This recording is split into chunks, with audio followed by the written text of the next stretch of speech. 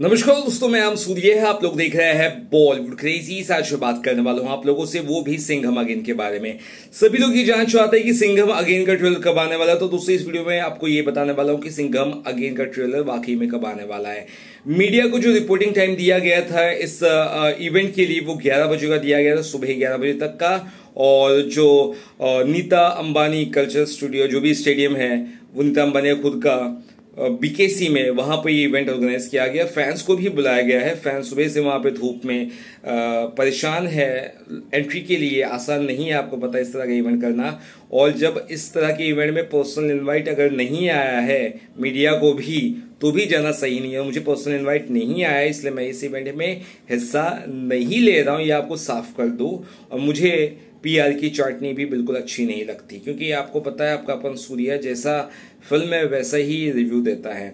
अब बात करते हैं फ़िल्म का ट्रेलर कब आएगा? एकदम सीधी सीधी बात करते हैं। किसी भी इवेंट में मीडिया को बुलाया जाता है तो एक घंटा, डेढ़ घंटा, दो घंटा पहले बुलाया जाता, एक डेढ़ घंटा पहले तो बुलाया जाता है।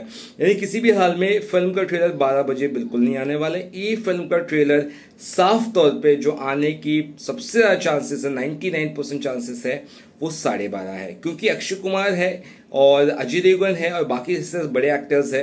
और रोहित शेट्टी हमेशा ही अपने फ़िल्म के ट्रेलर को एक ऐसे वक्त रिलीज़ करते हैं जो दोपहर का एकदम नहीं होता, जो सुबह का वक्त होता है। भले ही यहाँ पे इतनी बड़ी फ़िल्म का ट्रेलर सबके आने जाने में, जैसे कि बहुत एक्टर्स है राइट उनको आने में लेट हो सकता है, ऊपर नीचे हो सकता है तो वो सब लॉजिक्स को भी देखते हुए इस फ़िल्म का ट्रेलर साढ़े बारह बजे तक आ जाना चाहिए। अगर max to max max to max एकदम डिले भी हुआ प्रॉब्लम भी हुई तो एक बजे तक आ जाना चाहिए। कसम से बता रहा हूँ, उससे ज़्यादा डिले बिल्कुल नहीं होने वाला है। So if you expecting trailer of Singham again so just wait and watch the trailer will be mostly out by twelve thirty और एकदम अगर और केसेस हुआ तो एक बजे तक। वो मैं क्यों बोल रहा हूँ? क्योंकि फैंस को इकट्ठा करना इसके अलावा मीडिया वालों को इकट्ठा करना जो बहुत सारे होंगे, ये इसमें ही इतना टाइम चले जाता है क्योंकि वहाँ पे एंट्री तुरंत नहीं मिलती। लेट मी टेल यू ये जो जगह पे जहाँ पे इवेंट हो रहा है वहाँ पे एंट्री का बहुत लफड़े हैं बहुत पंगे हैं।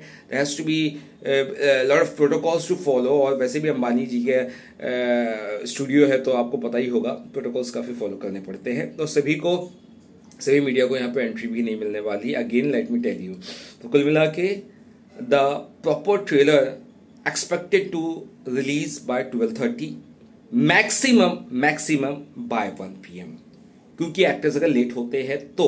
So this is the timing और यही रीजन है, उन्होंने कोई टाइमर सेट नहीं किया 24 घंटे पहले 12 घंटे पहले कि ट्रेलर इतने बजे आएगा, उतने बजे आएगा। They have not decided the timer और ऐसा नहीं किया, क्योंकि उनको पता है कि एक्टर्स इतने सारे हैं, उनको साथ में लाना ऊपर नीचे होगा। और let me again tell you इस साल का ये सबसे बड़ा इवेंट है अगर देखा जाए तो हिंदी का अगर बात करें तो अगर हम कलकी को साइड में रख देते हैं तो it's one biggest event I think it is not an event also it's a festival I could say तो trailer is coming by twelve thirty और max to max by one P M and this is what you are going to witness the biggest extravaganza of Bollywood और पाँच minute का trailer होने वाला तो मज़ा आने वाला दोस्तों, बहुत मज़ा आने वाला है।